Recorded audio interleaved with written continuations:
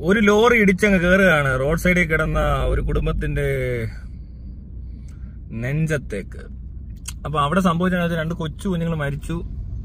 വേറെ ആളുകൾക്കൊക്കെ മാതാപിതാക്കൾക്കൊക്കെ ഗുരുതരമായ പരിക്കുകൾ അമ്മയ്ക്ക് ഗുരുതരമായ പരിക്ക് അച്ഛന് വലിയ കുഴപ്പമൊന്നുമില്ല ചെറിയ പരിക്കുകളോടുകൂടി വളരെ സന്തോഷമായിട്ടിരിക്കുന്നു.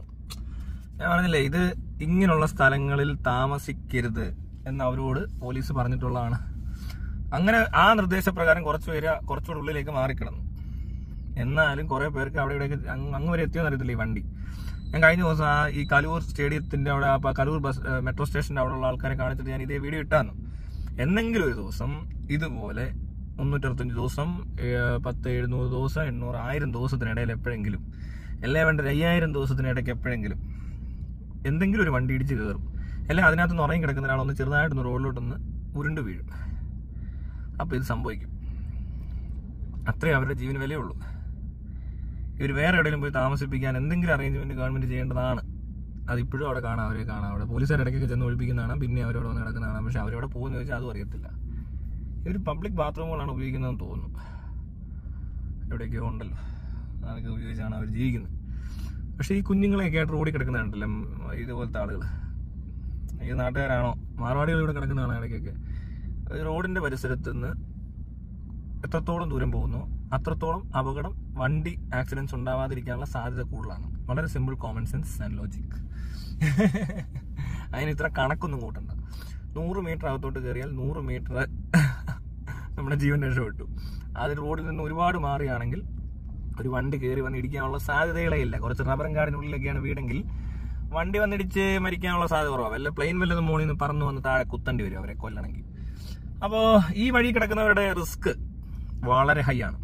ആക്സിഡന്റ് ഡെത്തിനുള്ള റിസ്ക് ഹൈ ആണ്. ചിലപ്പോൾ അവർക്ക് ഹാർട്ട് അറ്റാക്ക് ഒന്നും വരത്തില്ല. അതിന് മുമ്പ് വണ്ടി ഇടിച്ചാവും ഇതെല്ലാം അറിഞ്ഞിട്ടും ഈ ആളുകളെ ഒട്ടും പരിഗണിക്കാതെ മാനുഷികമായ ഒരു പരിഗണന പോലും കൊടുക്കാതെ അതേ അവസ്ഥയിൽ അവിടെ തുടരുന്നതിന് കാരണക്കാരാര് എന്ന് ചോദിച്ചാൽ ഞാനാണ് നിങ്ങളാണ് നമ്മളെല്ലാവരും ഒരുപോലെയാണ്. അപ്പൊ അങ്ങനെയുള്ള അങ്ങനെയുള്ള നമ്മളൊക്കെ കൂടെ എന്ത് ചെയ്യാൻ പറ്റും? നമുക്ക് പിന്നെ മകനെ മാപ്പ് മകളെ മാപ്പ് എന്തെല്ലാം ചെയ്യാൻ പറ്റും അല്ലേ? അതാണ് നമുക്ക് ചെയ്യാൻ പറ്റുന്ന പരിപാടികൾ. പക്ഷെ ഇവിടെ അധികാരവർഗം നിയമപാലകര് നിയമ സംരക്ഷണം സംരക്ഷിക്കട്ടെ. ഓഹ് മന്ത്രിമാരും ഇവിടുത്തെ വലിയ പുള്ളികളൊക്കെ കൂടെ നടന്ന് കാണിക്കുന്നതിന് ഇടയിലാണെന്ന് ഓർത്തോണം രണ്ട് കൊച്ചു കുഞ്ഞുങ്ങൾ പാവപ്പെട്ടവർ അവരെ ഇപ്പൊ എന്ത് ചെയ്യാൻ പറ്റുമെന്ന് വെച്ചാൽ അവരോട് മാറി താമസിക്കാൻ പറഞ്ഞിട്ട് മാറാതെ അവിടെ കിടന്നവർ അതിനുള്ള ബുദ്ധി വികസിച്ചിട്ടില്ലാത്ത ആൾക്കാരല്ലേ? അങ്ങനെ ചിന്തിക്കാൻ ശേഷിയില്ലാത്ത ആളുകളാണ്.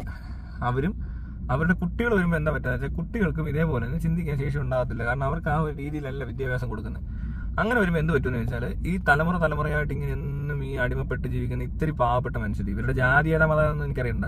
ഇവർ ഏത് കാസ്റ്റിൽപ്പെട്ടവരാണെന്നോ നോക്കിയിട്ടല്ലല്ലോ നമ്മളാരെയാണ് മനസ്സിലാക്കുന്നത്. തീരെ ബുദ്ധിമുട്ടുള്ള റോഡിൽ കിടക്കുന്ന മനുഷ്യർ അവരേതെങ്കിലും പ്രത്യേക ട്രൈബിലോ കാസ്റ്റിലോ പെടുന്നവരാണോ എന്നൊന്നും അറിയത്തില്ല. ഇനി വേറെ വല്ല നാട്ടിൽ നിന്ന് വന്നേക്കുവാണെങ്കിൽ അവരുടെ അതും നമ്മൾ ചിന്തിക്കത്തില്ല. നമുക്കിവിടെ വേറെ പാവപ്പെട്ടവരുണ്ടല്ലോ. അങ്ങനെ പ്രശ്നം ഈ നാട്ടിലുണ്ട്. അപ്പോൾ അവരെന്ത് ചെയ്യാൻ പറ്റുമെന്ന് ചോദിച്ചാൽ അവരെല്ലാം അവിടുന്ന് കുട്ടികളെയൊക്കെ മാറ്റി പാർപ്പിച്ച് സൗകര്യമുള്ള സ്ഥലങ്ങളിൽ പഠിപ്പിക്കാൻ സ്കൂളിലോ വല്ലതോ ഒക്കെ ഏറ്റെടുത്ത് ഒരു ഹോസ്റ്റൽ പോലെ സെറ്റപ്പിലേക്ക് മാറ്റി ഈ തള്ളയുടെ നന്ദനം കൂടെ തന്നെ വളരണമെന്ന് ഒരു നിർബന്ധവുമില്ല. അവർക്ക് വന്ന് കാണാനും പോകാനും ഒക്കെ പറ്റണം. അവരവരുടെ ജോലി ചെയ്തോട്ട് സമ്പാദിച്ചോട്ട് കുട്ടികളെ നല്ല രീതിയിൽ വളർത്തുന്നുണ്ടെങ്കിൽ ഇവർ ഹാപ്പി ആയിരിക്കും കൂടുതൽ വരും. പക്ഷെ അതൊന്നും ചെയ്യത്തില്ല. ഇവിടെ എല്ലാവർക്കും ഒരേപോലത്തെ സൗകര്യങ്ങൾ ഉണ്ടാക്കി കൊടുത്തിട്ട് ഈ സാമ്പത്തികമായ രീതിയിലെ സഹായങ്ങൾ മാത്രം. അല്ലാതെ ഇന്ന കാസ്റ്റ് ആയതുകൊണ്ട് പ്രത്യേക സഹായം ഇല്ല എന്നിട്ട് ഈ കുട്ടികളെയൊക്കെ നല്ല രീതിയിൽ പഠിപ്പിച്ച് ഓക്കെ അവർ കോമ്പീറ്റ് ചെയ്ത് നല്ല നിലയിലെത്തും. എത്താത്തവർ ഓരോരുത്തരുടെ സ്കിൽ അനുസരിച്ച്. ഇപ്പം നമ്മുടെ നാട്ടിൽ കാണുന്ന ആ നാൽപ്പത്തി ഏഴാം സ്ഥാനത്ത് ലോകരാജ്യങ്ങളിൽ നാൽപ്പത്തി ഏഴാം സ്ഥാനത്ത് കിടക്കുന്ന വിദ്യാഭ്യാസ സമ്പ്രദായമായിരിക്കരുത് നമ്മൾ ഫോളോ ചെയ്യുന്നത്. അല്ലെങ്കിൽ ഈ രാജ്യം ഒരിക്കലും ഗുണം പിടിക്കാൻ പോകുന്നില്ല. എന്തുകൊണ്ടാണെന്ന് വെച്ചാൽ നമ്മൾ പല രീതിയിലുള്ള എന്താ വിട്ടുവീഴ്ചകളും ചെയ്തിട്ടാണ് പലരും ഇവിടെ ഈ പറഞ്ഞ പോലെ എന്താ റിസർവേഷൻ എന്നൊക്കെ പറഞ്ഞ് കുറേ സാധനം ചെയ്യും. അതിനകത്തൊരു കുഴപ്പമുള്ളതെന്ന് വെച്ചാൽ പഠിക്കാനും മത്സരിക്കാനുള്ള സ്ഥലം വരെ ഇത് പാടുള്ളൂ. അല്ലാതെ ഇപ്പോൾ ഒരു ഓട്ട മത്സരം അങ്ങോട്ട് എടുക്കുക. നാല് പേര് ഓടുകയാണ്.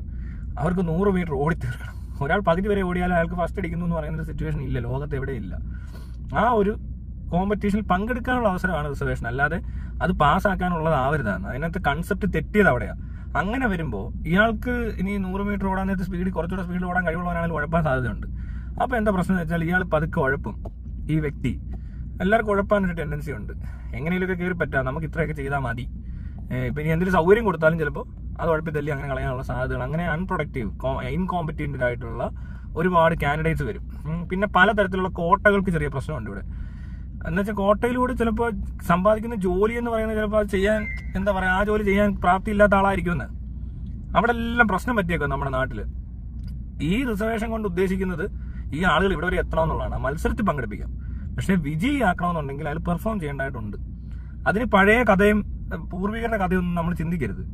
പകരം ഈ ഒരു കുട്ടിയെ മാത്രം ഫോക്കസ് ചെയ്യുക. അല്ലാതെ ഈ സാധനം മാറ്റാൻ പറ്റത്തില്ല. അത് ഈ പറഞ്ഞ ആൾക്കാരുടെ കാര്യത്തിൽ മാറ്റാൻ പറ്റത്തില്ല. ഇവിടെ എന്തെങ്കിലും തരത്തിൽ അടിച്ചമർത്തപ്പെട്ടെന്നോ ദാരിദ്ര്യത്തിൽ പെട്ടെന്ന് പറയുന്നവരൊന്നും ഇപ്പോൾ ശരിക്കും പറഞ്ഞാൽ അടിച്ചമർത്തിയത് കൊണ്ടെന്നുള്ള കൺസെപ്റ്റ് ഒക്കെ പോയി. ഇപ്പോൾ ഉള്ളവർക്ക് അത് അറിയത്തില്ല. പക്ഷെ സാമ്പത്തികമായിട്ട് പിന്നോക്കം നിൽക്കുന്നവരെ ആ സാമ്പത്തികമായിട്ടും അവരുടെ ലൈവ്ലിഹുഡ് ഇമ്പ്രൂവ്മെന്റും മെച്ചപ്പെടുത്തുന്ന രീതിയിൽ പ്രവർത്തിക്കാതെ അപ്പോഴും ഈ കാസ്റ്റാണ് മറ്റേ കാസ്റ്റുകാരുണ്ട് ഇതാണ് അതാണ് പണ്ടെന്നോ ഉണ്ടായിരുന്ന ഒരു സിസ്റ്റം ഉണ്ടായത് കൊണ്ട് ഇപ്പോഴും ആ രീതിക്ക് മാത്രം ചിന്തിക്കുന്നിടത്ത് പ്രശ്നമുണ്ട്. മനസ്സിലായി? സാമ്പത്തികമായി പിന്നോട്ട് നിൽക്കുന്ന ഏതൊരു മനുഷ്യനാണല്ലോ ഹ്യൂമാനിറ്റേറിയൻ കൺസേൺ മാത്രമേ ഉള്ളൂ. അല്ലാതെ റിലീജിയൻ ഇല്ല കാസ്റ്റ് ഇല്ല വേറെ നാടില്ല ബൗണ്ടറി ഒന്നുമില്ല. അങ്ങനെ ചിന്തിക്കണം നമ്മൾ ഈ വിഷയം സംസാരിക്കുമ്പോൾ. അതുകൊണ്ടാണ് പറയുന്നത്. ഇതിപ്പോൾ ചിലരൊക്കെ പറഞ്ഞു കഴിഞ്ഞാൽ ഇങ്ങോട്ട് വരും. അതല്ല നിനക്ക് അറിയാൻ മേലാത്തതുകൊണ്ടാണ് പറയും. പക്ഷെ അവർ ചിന്തിക്കാത്ത കാര്യം ഞാൻ പറയുന്നത്. അതൊരു ഭയങ്കര മോശപ്പെട്ട പ്രവണതയാണ് അത് ഒരിക്കലും ഒരാളുടെ ദാരിദ്ര്യമോ കഴിവിൽ കഴിവോ കഴിവില്ലായ്മയോ. ഒന്നും ഒരു കാസ്റ്റ് അടിസ്ഥാനത്തിലോ അല്ലെങ്കിൽ ഒരു നാടിന്റെ അടിസ്ഥാനത്തിലോ ഒന്നും അല്ല നടക്കുന്നത്. അതൊരു കള്ളത്തരമാണ് അത് രാഷ്ട്രീയപരമായ ഒരു കള്ളത്തരമാണ് അങ്ങനെ നിന്നാൽ എന്നും ഇങ്ങനെ ഇത് തുടരാൻ പറ്റും. അതേസമയം ഇത് ഒറ്റയടിക്ക് മാറ്റാൻ പറ്റും. ഇത് ഒറ്റയടിക്ക് മാറ്റണമെന്നുണ്ടെങ്കിൽ ഞാൻ ഈ പറഞ്ഞ രീതിക്ക് അല്ലാതൊന്നും പറ്റത്തില്ല. അതിന് അതിന്റെതായ രീതിയിൽ വളരെ എന്താ പറയണ്ടേ സിസ്റ്റമാറ്റിക്കായിട്ട് ആരുടെയൊക്കെ വരുമാനം എല്ലാം കൃത്യം മനസ്സിലാക്കിയിട്ട് ഈ പറഞ്ഞ വീടുകളിൽ ബുദ്ധിമുട്ട് അനുഭവിക്കുന്നവരെ സെലക്ട് ചെയ്താൽ അവരെല്ലാം വേണേ പേരിന് വേറൊരു ക്ലാസ്സിലോട്ട് മാറ്റാം. ഏറ്റവും സാമ്പത്തികമായി പിന്നോക്കം നിൽക്കുന്നവരുടെ ജാതി മതം നോക്കിയിട്ട് കാര്യമുണ്ടോ? ഇവരുടെ പട്ടിണിയും വേദനയും ഇവരുടെ ഇല്ലായ്മകളും മറ്റവരുടെ ഇല്ലായ്മയും തമ്മിൽ എന്താണ് വ്യത്യാസം? അതെന്താ ഇവർക്ക് മനസ്സിലാവാത്ത എനിക്കറിയത്തില്ല. പലരോടും സംസാരിക്കുമ്പോൾ ഇവർ പറയുന്നത് അതല്ല ഇതല്ല മറ്റേ മറിച്ചല്ലെന്നൊക്കെ എന്തോ സൊസൈറ്റി എന്തോ ചെയ്യുന്നുണ്ടെന്നൊക്കെ പറയുന്നത് അങ്ങനെയില്ല. അതൊരു കള്ളത്തരമാണ്. അങ്ങനല്ല അത് വേണ്ടത്. ഇത് കറക്റ്റ് ചെയ്യണമെന്നുണ്ട് രാജ്യത്തിന് പുരോഗമനം പുരോഗമനം ആവശ്യമുണ്ടെങ്കിൽ മറ്റൊരു രാജ്യത്തും ഇല്ലാത്തൊരു പ്രശ്നം ഈ രാജ്യത്തുണ്ടെന്നും അവിടെയുള്ള രാജ്യങ്ങൾ ചെയ്ത പോലെ ചെയ്താൽ ഇവിടെ നടക്കത്തില്ലെന്നും ഇത് വേറെന്തോ സംഭവമാണെന്ന് ഇത് ഇങ്ങനെ തലയ്ക്കാതിരിക്കുന്ന സംഭവം മാത്രമേ ഇതൊക്കെ. അതൊക്കെ ഒഴിവാക്കി മാറ്റിയെടുത്ത് നല്ല സ്കില്ല് ഡെവലപ്പ് ചെയ്ത് കുട്ടികളെ ട്രെയിൻ ചെയ്തെടുക്കാൻ പറ്റും. അത് മനസ്സിലാകാത്ത രീതിയിൽ ഇവിടുത്തെ രാഷ്ട്രീയം പ്രവർത്തിക്കുന്നു. അതിന്റെ ഭാഗമായിട്ട് ദാരിദ്ര്യത്തിൽ കിടക്കുന്ന കുറെ പേര് ദാരിദ്ര്യത്തിൽ തന്നെ കിടക്കണം. ഒരിക്കലും ഒരു രക്ഷപ്പെടാൻ പാടില്ല. പിന്നെ ജാതിയുടെ അടിസ്ഥാനത്തിലൊക്കെ പറഞ്ഞു കഴിഞ്ഞാൽ ഗുണം എന്താണെന്ന് വെച്ചാൽ അതൊരു പൊളിറ്റിക്സ് ആയിട്ട് അങ്ങനെ നിൽക്കും. വോട്ട് ബാങ്ക് ഇങ്ങനത്തെ കളങ്ങളിലൊക്കെ നമുക്ക് കുറച്ചുകൂടെ സ്കോർ കിട്ടും. അതുകൊണ്ടാണ് ഈ സംഭവം ഒരിക്കലും ശരിയാകത്തില്ല കേട്ടോ. ഇതിനകത്തൊരു ചതിയാണിത്. ഈ ബാക്ക്വേർഡ് കമ്മ്യൂണിറ്റി മറ്റേ O B C A B C S C S T ഇങ്ങനെയൊക്കെ പറഞ്ഞ് തരംതിരിച്ച് വെച്ചേക്കുന്നിടത്താണ് ഈ തരംതിരിവുള്ളത്.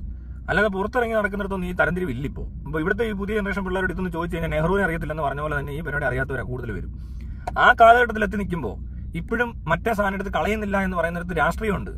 മനസ്സിലായി? ഇതൊക്കെ പറയുന്നവരുടെ മണ്ടയ്ക്കോട്ട് കയറിയിട്ട് നിനക്കറിയത്തില്ല നീ അങ്ങനെ അല്ല ഇങ്ങനെ അല്ലെന്ന് പറഞ്ഞാൽ അത് ആ പൊളിറ്റിക്കൽ ഇൻട്രസ്റ്റ് ഉള്ള ആൾക്കാരെ പറയത്തുള്ളൂ. അല്ലാതെ മാനസികമായ പരിഗണനകളും ഒരു ഹ്യൂമൻ റൈറ്റ്സ് റിലേറ്റഡ് ആണ് സംഭവം നടക്കുന്നതെങ്കിൽ ഇങ്ങനെയല്ല വരേണ്ടത്.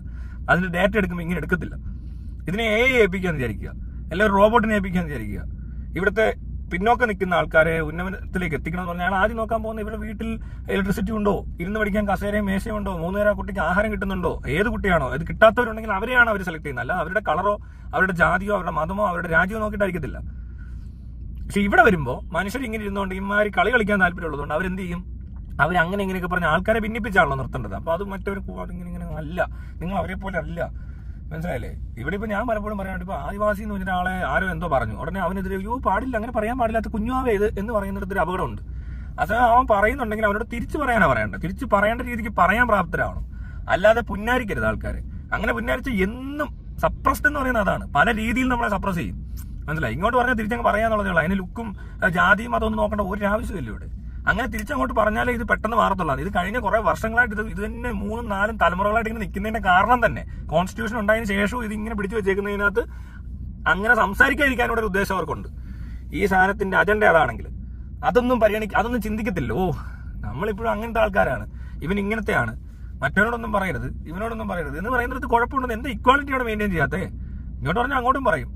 അത്രേ ഉള്ളൂ. അല്ലാതെ എന്റെ മണ്ടക്കോട്ട് ഒരു പട്ടിയെ ഞാൻ കണ്ടിട്ടില്ല ഇന്നേവരെ. എനിക്ക് മുകളിലോട്ടും ആളുകൾ കാണും. മനസ്സിലാവുന്നുണ്ടോ? താഴോട്ടുണ്ടോ എന്ന് എനിക്കറിയത്തില്ല. ഇനി മുകളിലോട്ടുണ്ടെങ്കിൽ മൈരനെ ഒന്നും ഞാൻ മൈൻഡ് എത്തുമില്ല ഏത് മൈരനാണ് എനിക്ക് മൈരം മാത്രമാണ്. മൈരന്മാരല്ല മൈരന്മാര്. അത്രേ ഉള്ളൂ. അത് മുകളിലും താഴെയും വ്യത്യാസമൊന്നുമില്ല. ജാതിയിലും വ്യത്യാസമില്ല. മതത്തിലും വ്യത്യാസമില്ല. രാജ്യത്തിലും വ്യത്യാസമില്ല. എല്ലാ രാജ്യത്തും ഇങ്ങനത്തെ തൊഴിഞ്ഞവന്മാർ പല പലതരത്തിലുള്ള തെണ്ടികളുണ്ട്. തെണ്ടികൾ തെണ്ടികളായിട്ടും തെണ്ടികൾ വിച്ചെടുത്ത് നടക്കുന്ന നിവർത്തികളുള്ള മനുഷ്യരല്ല കേട്ടോ. ഇപ്പൊ മരിച്ചുപോയവരെ കുറിച്ചല്ല പറയുന്നത്. ഇങ്ങനത്തെ നശിച്ചവന്മാരെ നശിച്ച് ഏത് ഏത് മതം വിശ്വസിച്ചാലും ഏത് രാജ്യത്ത് വെച്ചാലും നശിച്ചു പോകുന്ന ഒരു പ്രത്യേകതരം വിഭാഗമുണ്ട്. അവരെ നമ്മൾ കൺസിഡർ ചെയ്യുന്നേയില്ല പിന്നെ അങ്ങനത്തെ ഐറ്റം ഇങ്ങോട്ട് ഇറക്കിയാൽ അങ്ങോട്ട് അതിൽ കൂടുതൽ ഇറക്കുക. എന്നുള്ളതാണ്. ആരും അത്ര പെർഫെക്റ്റ് അല്ല. അപ്പൊ ആർക്കും ആരെ വേണേ കളിയാക്കൂ എന്ത് വേണേ ചെയ്യാം. മനസ്സിലായി? അതിനകത്ത് വന്നിട്ട് അയ്യോ ആ ഒരാളെ അങ്ങനെ പറയരുതെന്ന് പറയുമ്പോൾ അയാളെ അത്രത്തോളം അടിച്ചമർത്തേണ്ട ആവശ്യമൊന്നും ഉണ്ടെന്ന് എനിക്ക് തോന്നിയിട്ടില്ല. തിരിച്ചും പറയണം. ഇങ്ങോട്ട് എന്തെങ്കിലും പറഞ്ഞിട്ടുണ്ടെങ്കിൽ അങ്ങോട്ട് തിരിച്ച് പറഞ്ഞിരിക്കും. അതായിരുന്നു ആറ്റിറ്റ്യൂഡ് എങ്കിൽ. ചിലപ്പോൾ ഈ പരിപാടി ഒന്നും നടക്കത്തില്ല. നിന്നേക്കാ മോളുടെ ഒരുത്തനുണ്ടെന്ന് നിനക്ക് തോന്നില്ലാത്തടത്ത് ഒരാളില്ലടേ ആ തോന്നലാണ് ആദ്യം പറിച്ച് കളയേണ്ടത്. അത് കഴിഞ്ഞിട്ട് വേണം ഈ പഠിപ്പും കാര്യങ്ങളൊക്കെ കൊണ്ടുവരാൻ. പിന്നെ കോമ്പറ്റീഷൻ എന്ന് പറയുന്നത് എപ്പോഴും ഈക്വൽ ആയിരിക്കണം. നോർത്ത് ഇന്ത്യ നടക്കത്തില്ല. അവിടെ ഇങ്ങനല്ല. കേരളത്തിൽ നടക്കും. പക്ഷെ കേരളത്തിൽ ഇപ്പോഴും പിന്നെ നടക്കാതെ പിടിച്ചു നിർത്തിയേക്കുക മനസ്സിലായില്ലേ? ആ പരുവത്തിൽ എത്തിക്കണം. അതിന് ഈ സിസ്റ്റം ഫോളോ ചെയ്യാൻ പറ്റത്തില്ല. ഇവിടെ എന്നും ഇങ്ങനെ അടിച്ചമർത്താനും പേടിപ്പിക്കപ്പെടാനും ഒക്കെ ആൾക്കാർ ഡിസൈൻ ചെയ്തിട്ടുണ്ട്. ഇപ്പോഴും അതിനകത്ത് തന്നെ കിടക്കുന്ന പലരും.